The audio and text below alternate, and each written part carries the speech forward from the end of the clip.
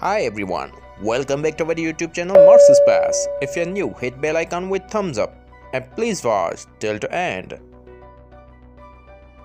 This image was taken by Chemistry and Camera RMI on board NASA's Mars Curiosity rover on Sol 3378 6th Feb 2022 and saw something mysterious. What is this? What is it? It looks like an alien. Possible alien or a just stone? What do you think? Let me know. Move your fingers and type your thoughts. I'm waiting for you.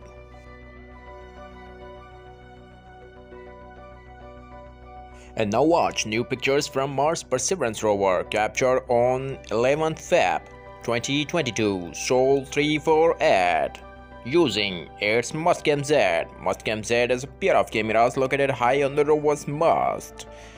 If you like this, hit thumbs up and don't forget to share to your friends. Stay connected with us. Thanks for watching.